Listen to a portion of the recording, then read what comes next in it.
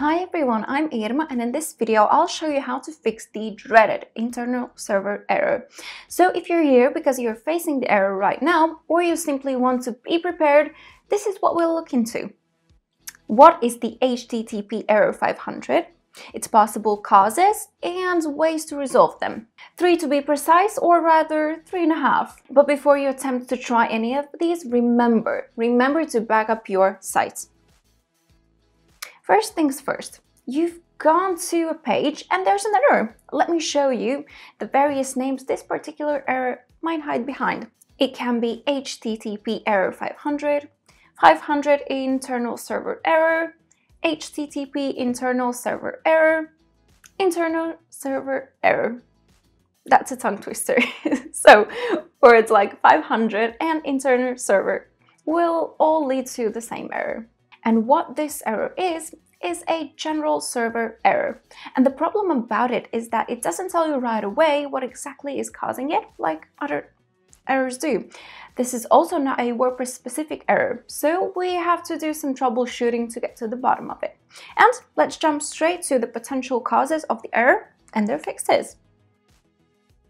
First and foremost, just refresh the page. Sometimes the most obvious solution is the one that doesn't come to mind. So start with that.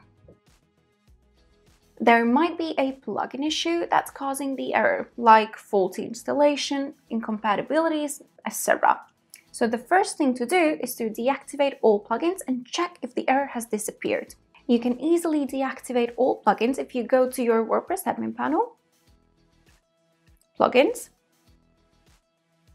check this box right here so that checks all the plugins that you've got. And here in bulk actions click on deactivate and apply.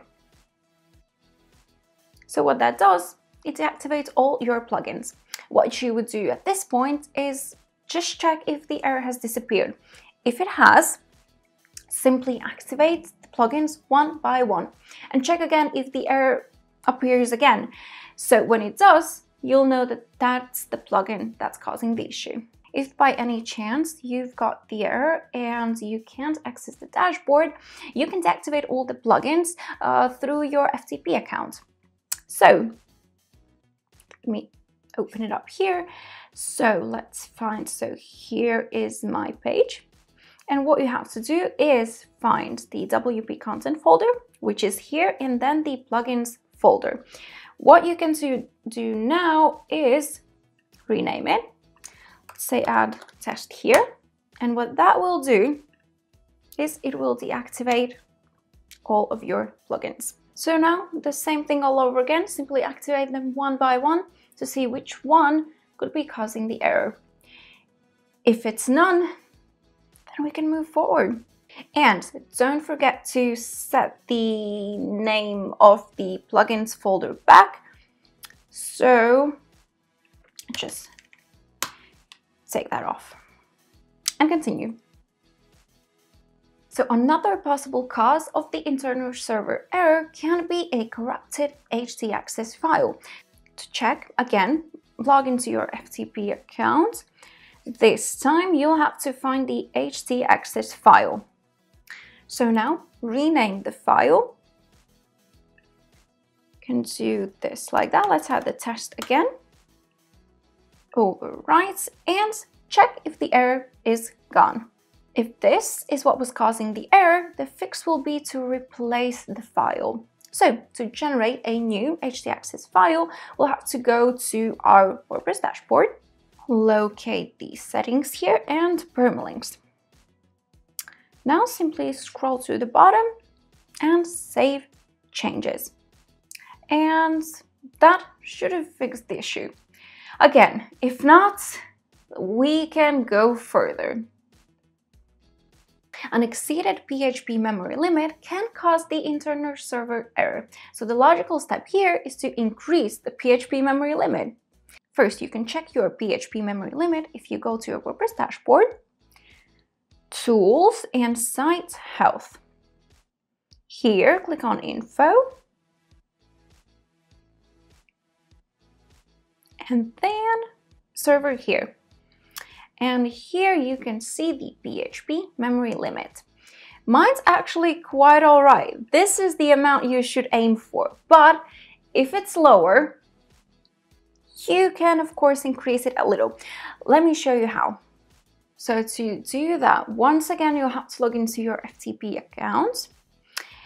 And there you'll have to locate this file right here. So we're not able to edit it here. So let me just drag it to my computer so we can actually do something with it. Okay, so now just open the file with any text editor that you prefer.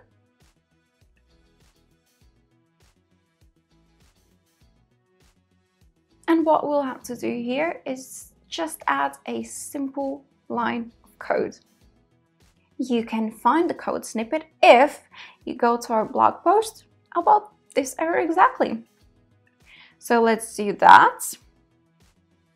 And here we go. This is the line of code. And you have to add it under the PHP opening tag. And that's basically it. What we have to do now is save the file and bring it back to the root directory which is right here. Let's drag it back. And yes, I want to overwrite the previous one. And that is it. At this point, you should obviously check if this has helped. And as I said before, you can check if the amount has increased. For me, it was that already, but you can check it on your side. If you've tried all of these and nothing works, I'd suggest turning to your hosting provider for help. They might be able to give more information about what's going on. And the bright side is that most hosting providers offer 24 7 support, so don't be afraid to ask for some help here. And now you should be prepared if this error ever comes your way. And once again, back up your site. Finding an error and breaking your site in the process of fixing it is definitely not a good combination.